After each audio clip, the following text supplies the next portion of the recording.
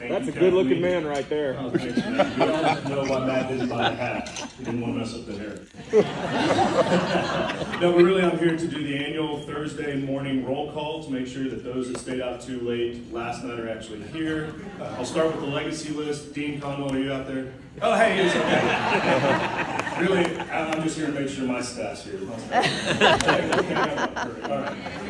Um, no, I'm here to introduce our keynote speaker this morning, uh, this morning Dr. Eli Jones. Uh, he's very influential here on Texas A&M's campus, uh, but more importantly, I also want to recognize his wife, Fern Jones, one of my inaugural board members. We would not be Destination Bryan today if it were not for Fern, so thank you very much. Yeah.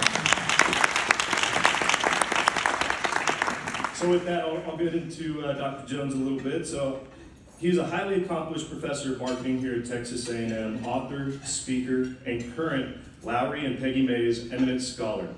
Dr. Jones has made significant contributions to the academic community, publishing over 50 peer-reviewed research articles in top academic journals, and co-authoring several professional books on sales and sales leadership.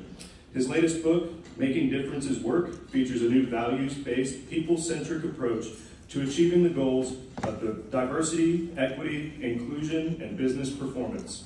Dr. Jones, we are very excited to have you here today. Everyone, please help me in welcoming Dr. Eli Jones.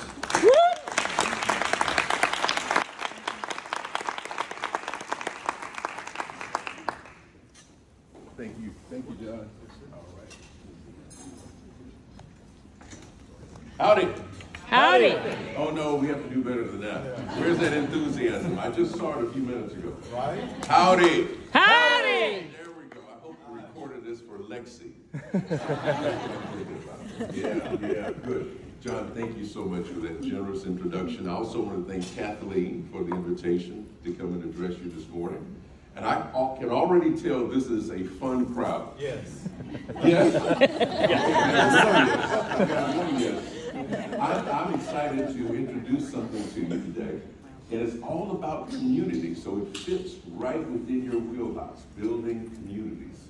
Uh, as John said, my wife Fern got very involved in the board, the inaugural board, and uh, Destination Bryan. How many of you had a chance to visit Bryan? Let me see a show of hands. All right, good, good. Welcome to Aggie Land. That's what we say. Welcome to Aggie Land.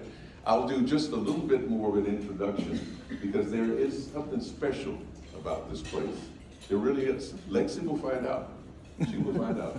So, one, I had the privilege of graduating from this university three times. Wow. Three times. I carry the ring. What you need to do is go see the big ring at the Former Students Association of Former Students office. Have you had a chance to see that? Oh, it's special. Take some pictures while you're there. It's a gigantic ring. We make a big deal out of the ring. The ring is recognized around the world. I've had the privilege of teaching around the world while I'm on an airplane. Many times, someone will look at the ring and say, oh, you graduated from A&M. It is a community, the Aggie community, very, very strong. So I want to talk a little bit about building a community. I'm going to base some of this on Peter Block's book. Have you read that one? No. Oh, I highly recommend it. Highly recommend it. How many of you have heard of sense of belonging? Mm-hmm. Sense of belonging. Okay. He's one of the first people to introduce sense of belonging, what that means. And what I'm going to do is I'm going to focus on that, the community, and how do you build a sense of belonging. And what I want to share with you is, yes, people have talked about the reasons why we should have a sense of belonging in our communities and in our businesses. So I served as a business dean here, Mays Business School. I served here from 2015 to 2021. So I'm a business professor. I'm a business guy. And many times when we talk about the work that you're doing, we're talking about economic development, right? Mm-hmm. Am I in the right group? Yeah. okay, good. Economic development. I'm going to talk a little bit about that. Why would we want to focus on a sense of belonging? And I'm going to build a business case for a sense of belonging. I mentioned I was the dean here. Let me give you a little bit more information on that because it's relevant. So look, I'm a graduate of Mays Business School. It wasn't Mays when I was a graduate. All right, Mays Business School. And what's special about that is, get this, get this. The folks who taught me, my professors, invited me back to lead them. Whoa. Whoa.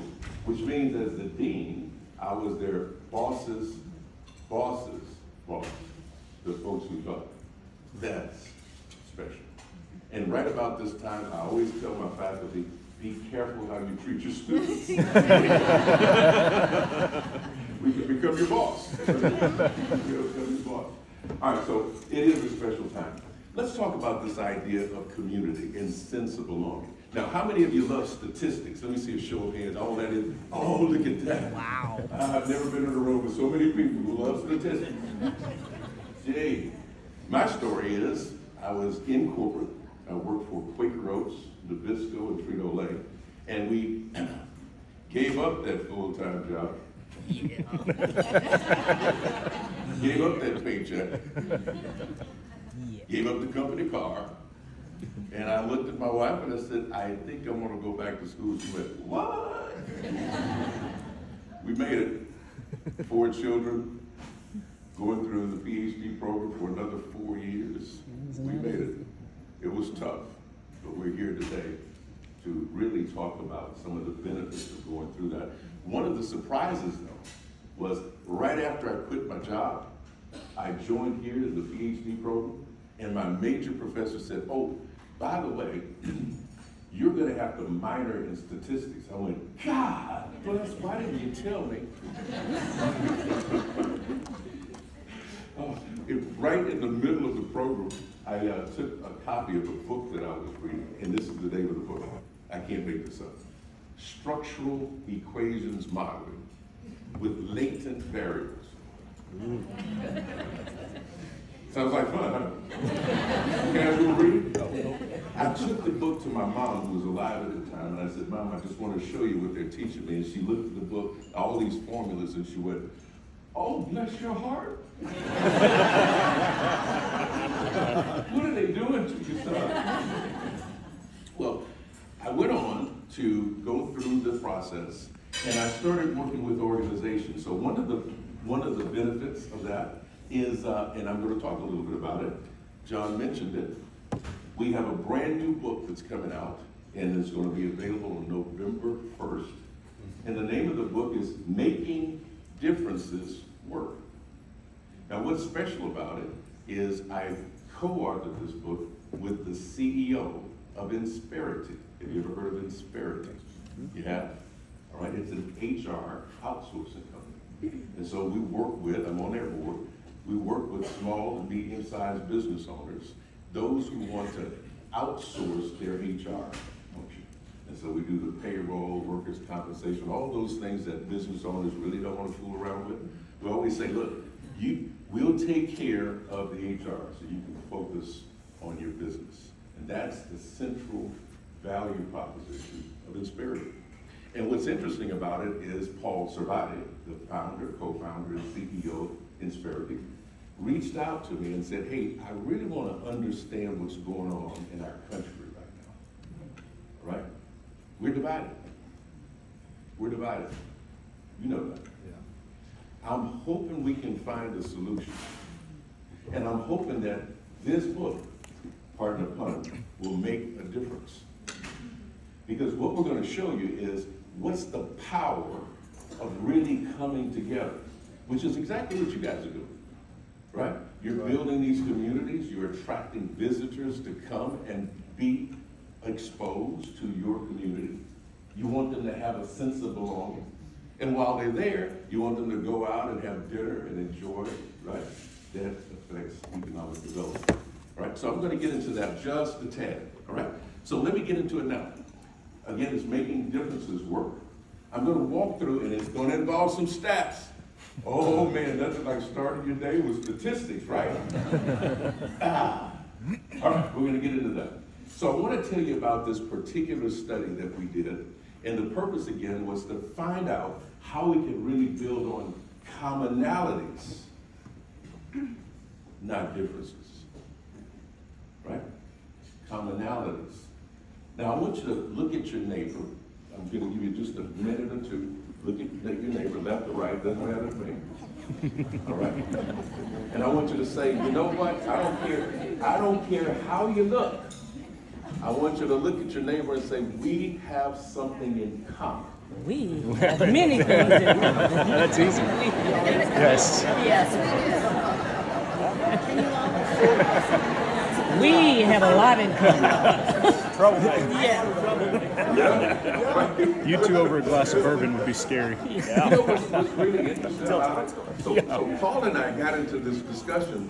We actually have more things in common than we have that's different. Right. So why don't we talk about what's in common? Not so much what's different.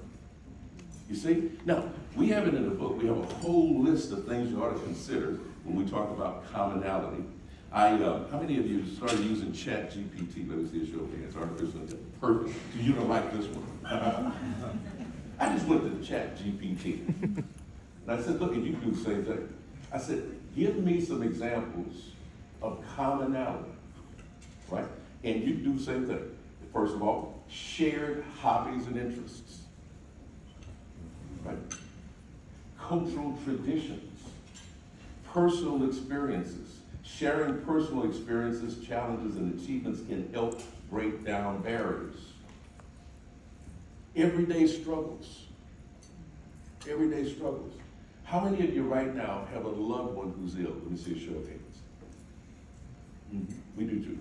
My wife and I do too. All right? We have that in common. How many of you know someone in your family who's had cancer? Look around. Right? How many of you like to travel? Let me see a show of hands. Every, everyone's, Two you better hands. be up. Two hands, I like that. All right, the list goes on. Why don't we talk about those things? Why don't we talk about those things? We live in the greatest country that's there. We live in the best country. Why don't we celebrate that and come together? And that is the focus of making differences work. That's what we're going to talk about. Now, if you don't believe me, I'm going to introduce you to the science of it. Right? We, Paul and I, got together, we started thinking about, hey, look, we actually have more in common.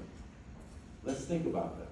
And so we started discussing a couple of new concepts, commonality and cohesion. Right? And we want to focus on that. And what we're going to show you, though, using the science, is a sense of belonging can drive economic development. That's the central thing. I hope you get that. And I hope you're inspired to talk more about what we have in common than what we have that's different. Right? And so as we got into this conversation about this, Paul and I discussed it. I said, Paul, first of all, I am a social scientist. I'm a researcher. That's what I do for that. Most people say professor say you teach. Yeah, this is teaching. But I'm going to show you what we do to actually have the material to teach. We have to do research in order to teach. So 60% of my time is doing studies. And I collect data from all kinds of organizations. In this case, Paul allowed me to go in and survey his 4,000 people in his company. And we use this as a case study. And the book that's coming out November 1, I hope you get it, Making Differences Work. You'll see for yourself the power of commonalities. And that's what we're going to show you. All right? So we went through a very extensive study. Look, you're on a university campus, so hold on to your seats. You came here to learn. You came here to explore, and you're right here in my hometown, right here at my university, and I hope you get something out of this. So I want to walk through this study, right? And I'm glad you got your coffee because some people fall asleep when I start talking statistics. I'm not your average statistician. I don't even look like your average statistician. All right, so I'm not going to go deep into the stats. I'm going to give you some punchlines as we go through this. All right, I will show you stats, but I'm going to give you some talking points along the way. Got it? All right. So the first thing we do as social scientists is we start thinking about the methodology. That's very important. So we didn't want to guess at this. We actually wanted to use the science to show it. We could have stated our opinions in this book, and we probably would have done just okay with stating our opinions. But the first thing I mentioned to Paul was, look, we've got to study this. We don't want to branch out on our own with these ideas in an area that people are still challenged. We want to use the science here, and that's what we're going to do. I laid out the methodology for this. Now, listen to this. The first thing was we put together some focus groups. That would be the qualitative work. We put together focus groups. I went out and I talked to folks who were involved in our executive MBA program, and folks in our professional MBA program, and folks in our Masters of Science in Business. Right? We formed teams of five. I had a doctoral student working with me, and he and I would have these conversations with these folks in the focus group sessions, right? Average of five. We did multiple sessions. And the focus group is I ask open-ended questions, all right? And it's a free flowing of ideas in the conversation. That's what that's about, right? Now, why did I choose this audience? I, choose, I chose this audience because these are working professionals. They are in business. We have presidents of companies in our executive MBA program it makes, presidents of companies. And so I was interested in really asking them about their company's DEI efforts. Right, so we just started out. And I would ask, tell us about your company's DEI efforts. And we talked about that. And then here's the key point. I asked, how effective is your company in this area? Most people looked at me and asked, effective? What do you mean? What do you mean? You see, most people measure this based on percentage of, just hang with me here, I'm going to get to a point. The percentage of fill in the blank demographic group at different levels in an organization. Right? That's the standard measure. We wanted to go far beyond that. We wanted to introduce a new way of looking at effectiveness.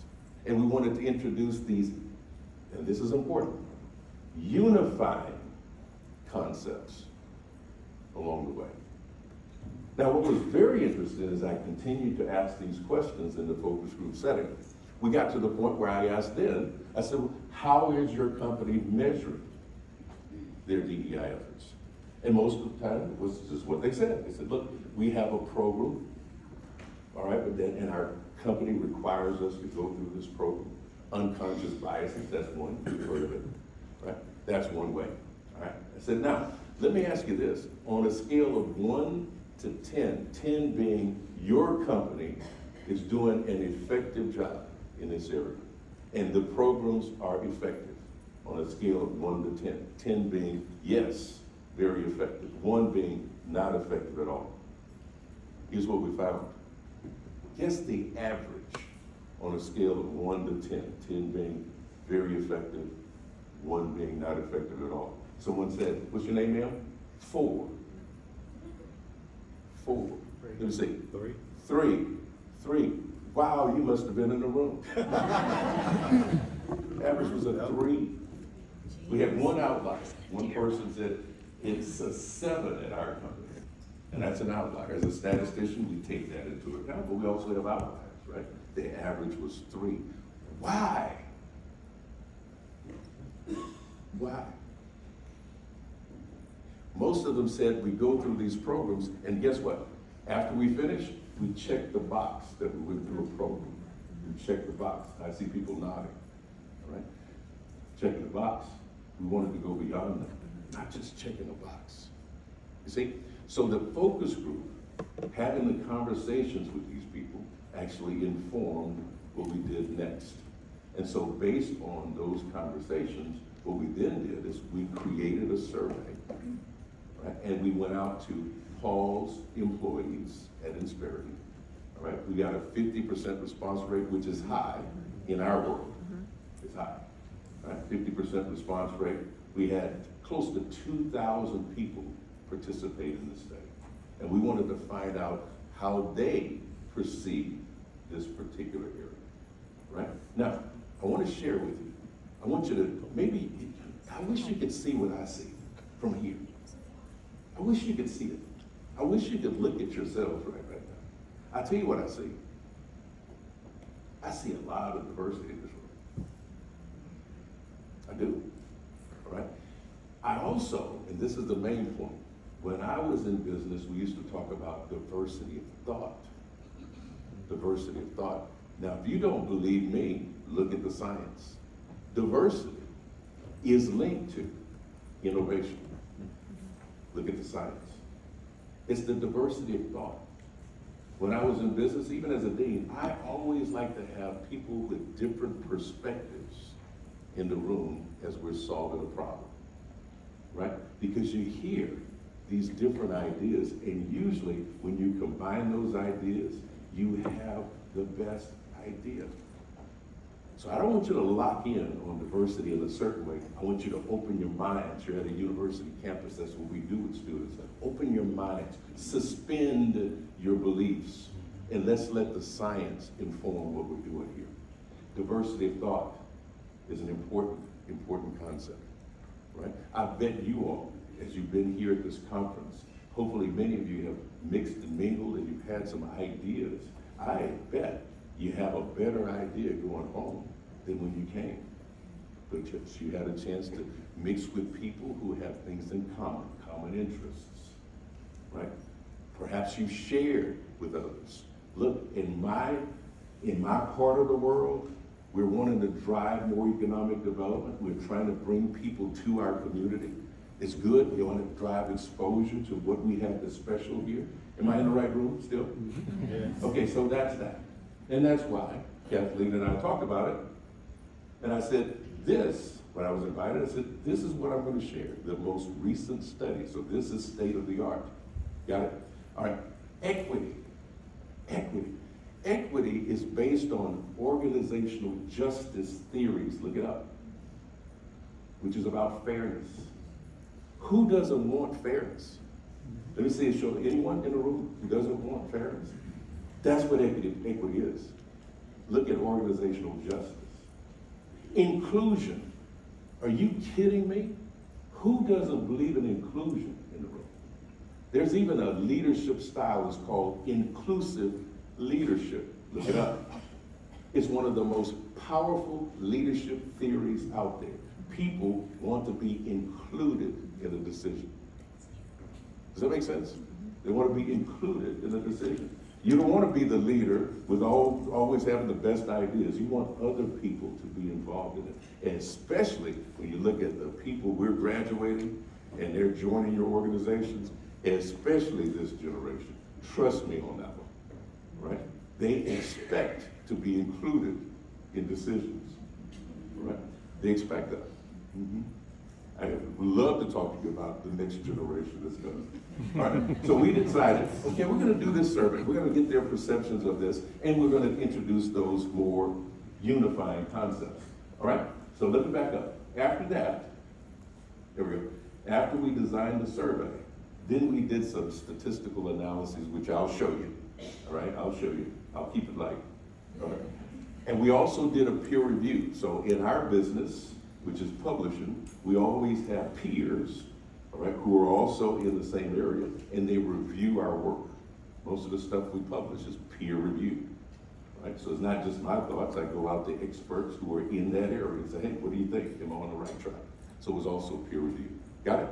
Still with me? Mm-hmm. Need some more coffee? All right, let's get into it. Now, I'm going to go into some stats just to show you the science. And I'm going to share with you, as I've shared with other audiences, kind of the key points, right? What are the statistical analyses that we're looking for to help us understand these phenomena? That's what we're doing, right? And for those of you who, have, who like stats, you would, have, first of all, see the p-values. That's important, right? So let me explain what that means, all right? A p-value. This is a probability. Statistics is really about probabilities, right? If I gather enough, I can infer from the stats, from the sample, that this is the way it is.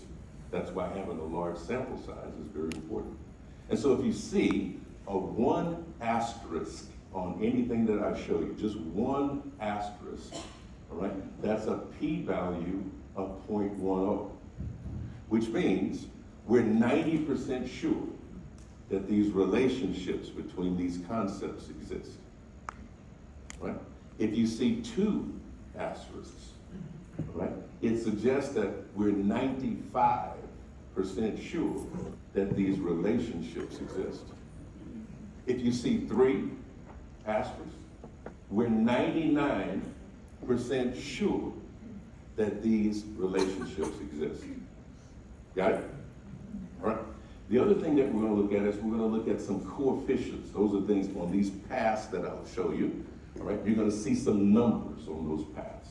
You're going to see one, two, or three stars. That will be the p-values. You're also going to see these coefficients, these numbers on each one. What that means is that's how strong the relationships are. One, is it statistically sufficient? Yes.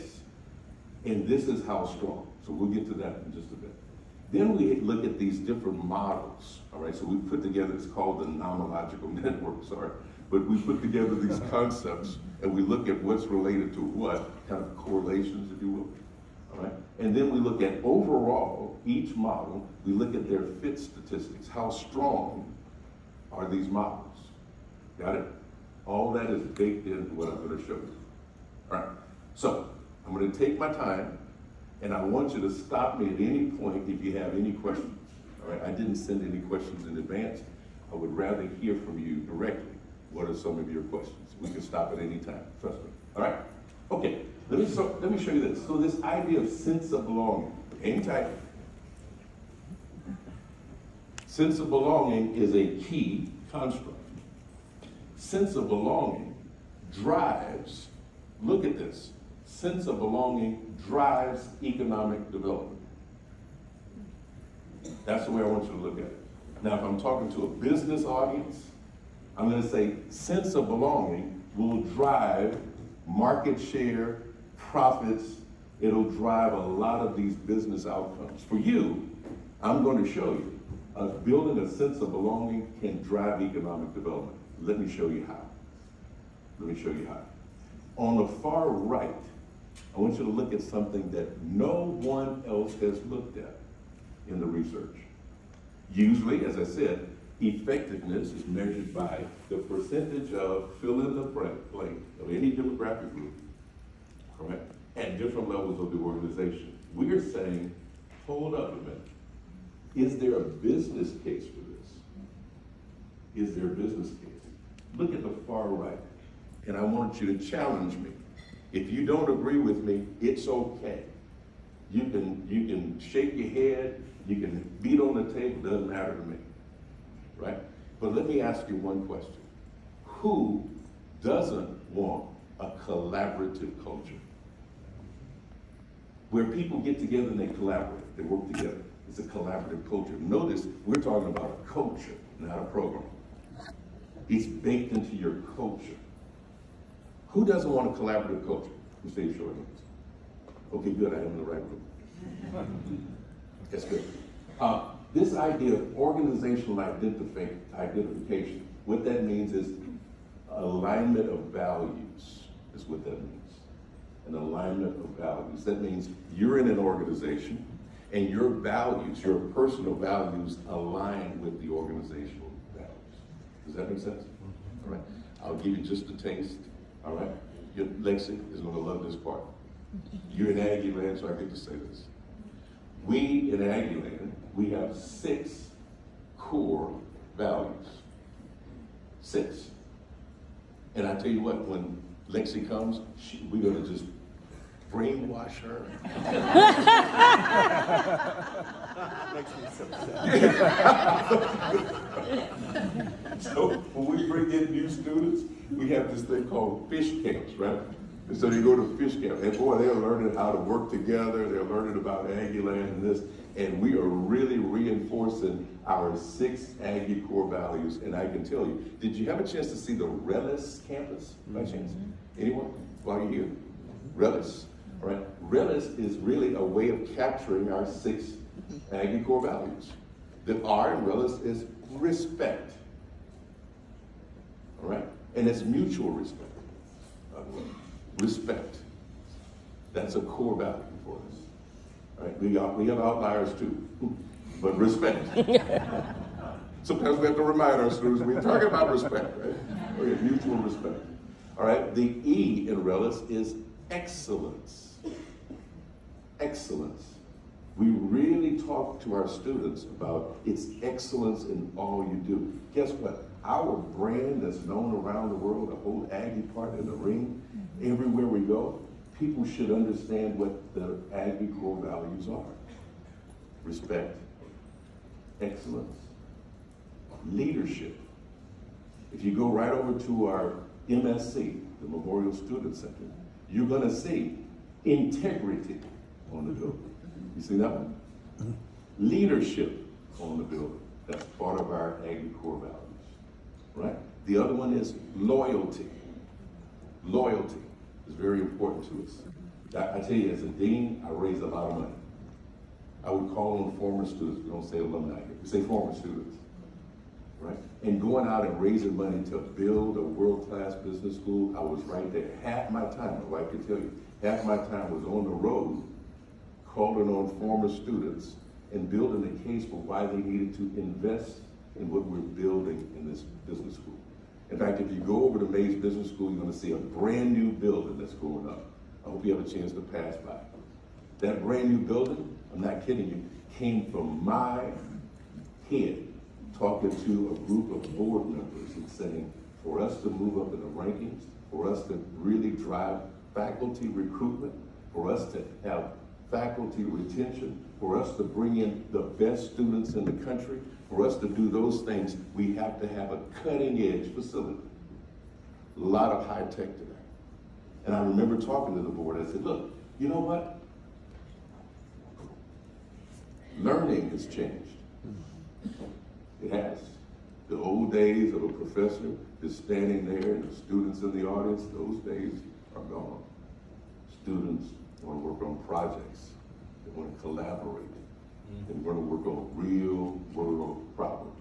We need spaces, not just classrooms. We need collaboration spaces for these students. And $84 million later, we've got that building that's going up right there at Mays Business School. That's the truth, right? Why?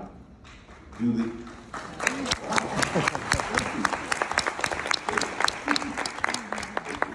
but it's all about these former students. They are really loyal to this organization. Loyalty is one of our Aggie core values. All right? Respect, excellence, leadership, loyalty, integrity is very important to us. Hopefully you'll hire some Aggies. Ask them. Integrity is very important to us. And the last one is selfless service. We serve. In fact, the biggest event we have is called Big Event. Here, you should see it. We have thousands of students who will come together and they go out and they work with Habitat for Humanity. They're going out building homes for people. They're going to people's homes and you know helping them clean out the garages. And selfless service is part of that, right? And so when we recruit faculty members to our organization, we go through the six Aggie core values: respect, excellence, leadership, loyalty, integrity, and selfless service. That's what we believe in. Now, if you believe in this, you belong here those core values. Organizational identification is just that. Whatever organization you join, if your values align with the values of that organization, that's going to drive positive results. Got it? All of this on the right is based on employee engagement. That's what that's based on. All right, look at this other. Who doesn't want discretionary effort? So let's say you have a group of volunteers, right? And you're meeting with your volunteers, which is, boy, that's a true test of leadership, isn't it? Leading volunteers, that is a true test. You're not, you're not paying them. They can walk. You gotta, you gotta inspire them to do some things. I had a Dean's Advisory Board, that's exactly what that was. Not only were we not paying them, they were paying us to belong. Isn't that amazing? All right? And so this idea of discretionary effort means over and above what's expected. Who doesn't want a group of people, right, who will go over and above what you expect? Anyone? hmm You can stop me at any time and challenge me on any of this. This last one is about innovation, team creativity, new ideas, new ways to go to market, right? This is about innovation. Who doesn't want an organization that's innovative? Okay.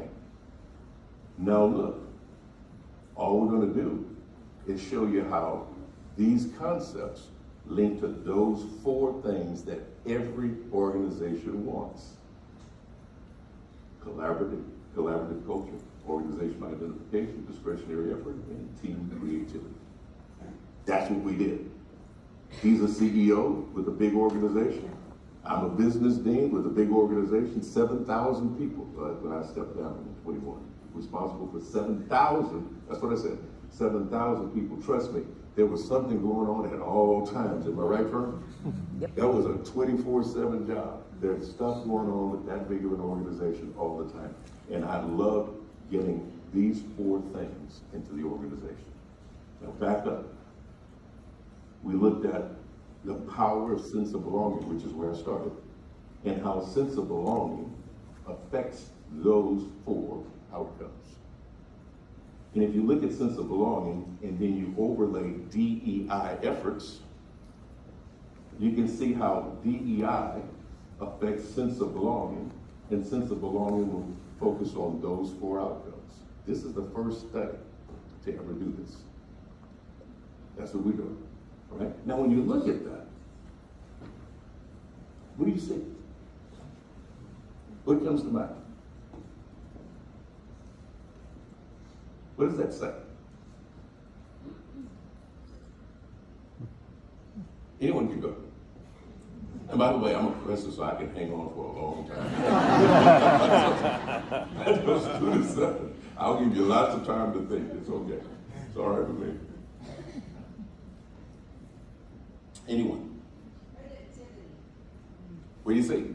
Productivity. You see productivity. How? When you say productivity, you're talking about those four variables on the side, right? It's productivity. You're right about that. Okay? What's the effects that you're seeing? So remember, first of all, I mentioned one star, two star, three stars. Remember that? I call those P values. All right? Do you see any one stars up there? No. Do you see two stars? No. You see three stars. So we show we're showing you those significant relationships. And when I say three stars, what does that mean? 99% sure that those relationships exist. Okay? And what you see there is your diversity. That's diversity of thought. That's like what we have in a room. We've got different demographic groups in the room. If we were to all put our ideas together, what we're going to have is a collaborative culture. That's what that says. That's what that says. And we're 99% sure that. We're 99% sure that. Equity. If you look at equity, all right, you go see that arrow? It goes all the way over to a collaborative culture.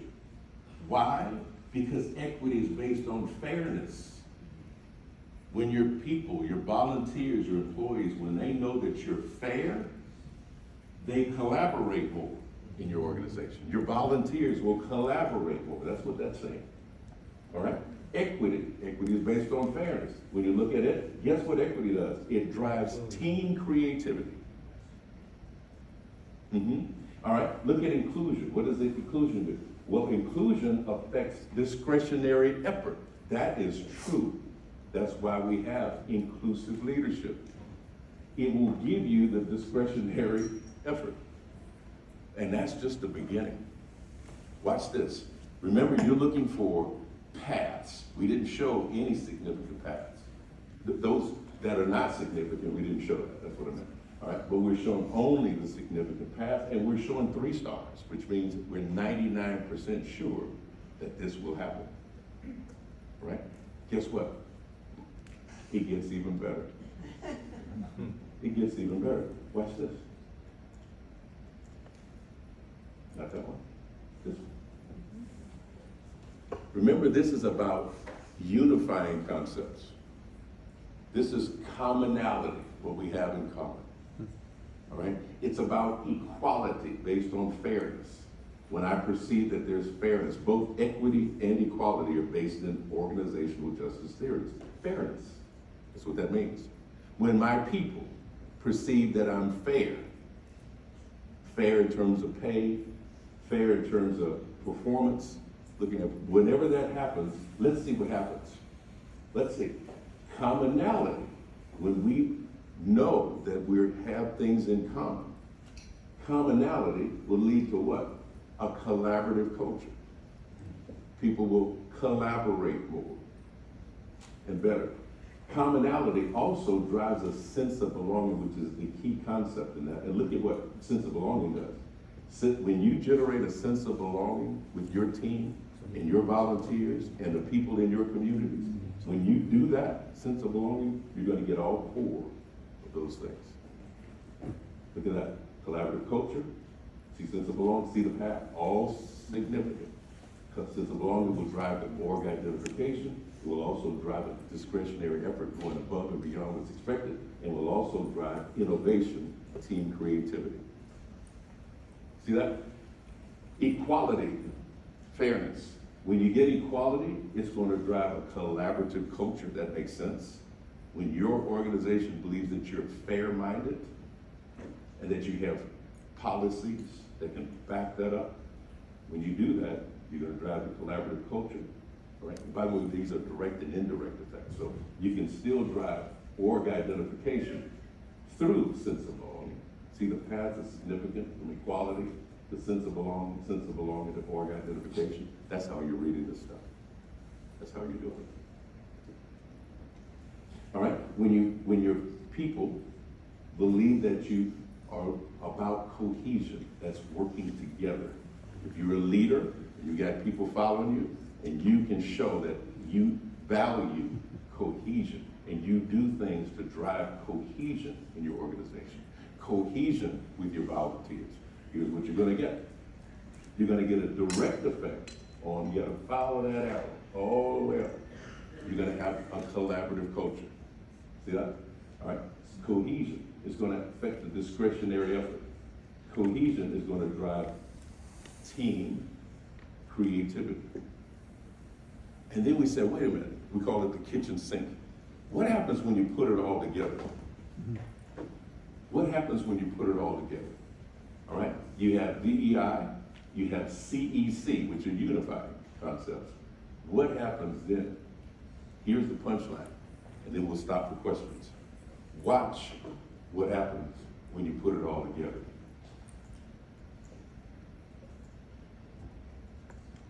Bam. Now, most audiences, not to challenge you, but most audiences, when I show them that, they go, wow. Thank you. I. I- um, it's the stats, I know, I get it, I get it.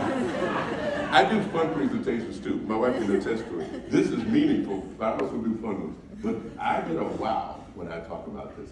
This shows you, this is the science behind it. When you combine it, you get the very best results.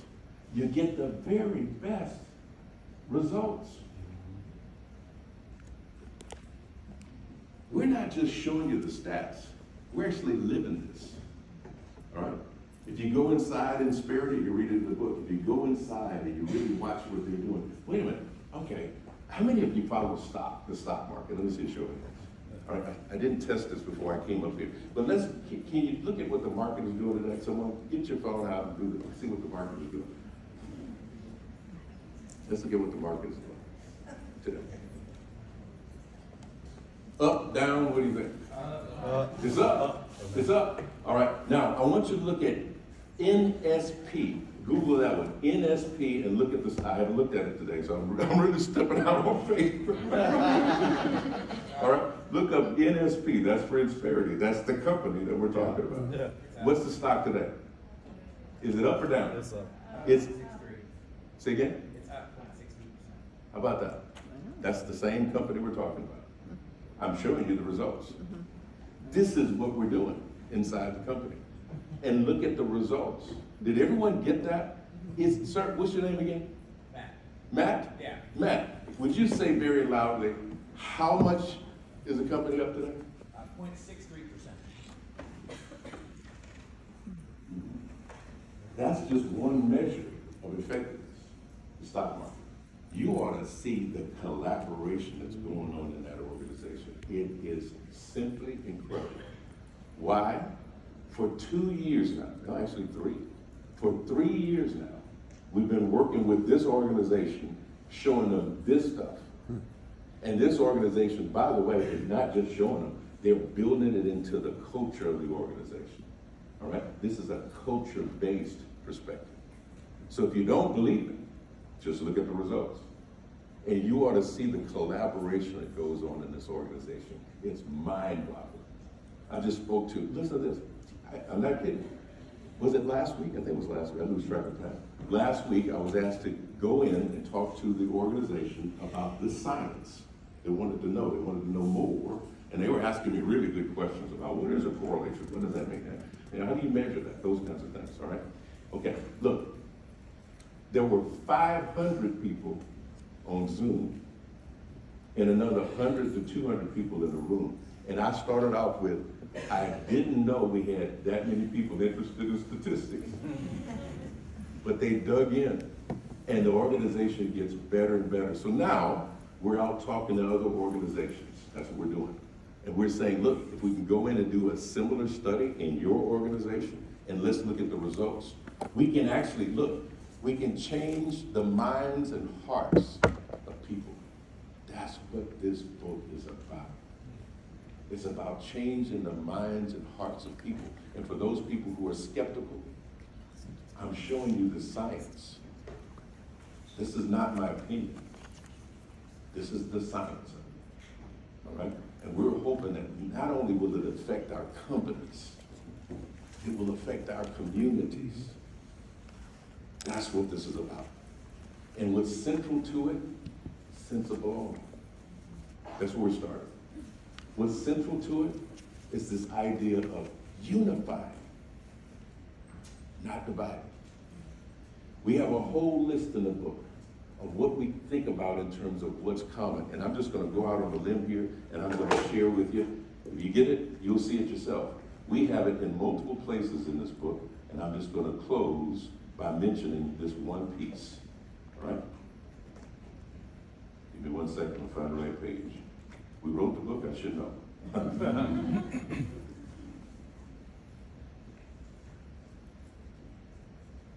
it is necessary for our society and worthy of our concerted effort to chart a new way forward with a focus on three things commonality, the things we have in common, equality, opportunity, and reward for all people, and cohesion, the things that bring us together. I ask that a desire to find commonality guide our efforts going forward, driven by these 10 principles. Common worth. We must start with an emphasis on the inherent worth of every person. This truth is the foundation for love and respect for every human, regardless of our differences. Common values. We must establish shared values to support the vision, shape, the culture, and provide the basis for how we interact with one another. Common ground. We must create opportunities for open, honest, and safe communication, including candid discussions about the causes of racism and bigotry, and determine the best approaches to eliminate them. These discussions may not always be comfortable, but through them, we can find the common ground that connects our unique experiences. Common aspirations. We must recognize every person's right to life, liberty, and the pursuit of happiness. Every person deserves to feel safe and should have the opportunity to make life better for themselves and their loved ones. Common experience. We must have a robust dialogue to learn about one another's point of view, sharing our experiences until we gain understanding and appreciation for one another. common goals. We must determine short, intermediate, and long-term objectives that can measure our progress in creating real opportunity for all. Only when we are working together toward clear, measurable goals will we effect change. Common sense. We must recognize human behavioral realities and tendencies and establish policies and practices that facilitate willing compliance. Common decency. It should go without saying that treating each other with respect is central to advancing any conversation about race and justice. Common good. We must create a sense of community that encourages individuals to set aside personal benefit for the benefit of others. Advancing the success of one of us advances the success of all of us. Common understanding. We must strive for a level of empathy that will inspire true care and concern for each other and embrace the role we each play in unlocking the potential of every person. That sounds good, doesn't it? Right, right. And we have the science to show it. That's what we should be doing. And we're showing you the science behind it. That's what this is about, making differences work together. Thank you for your time. Awesome.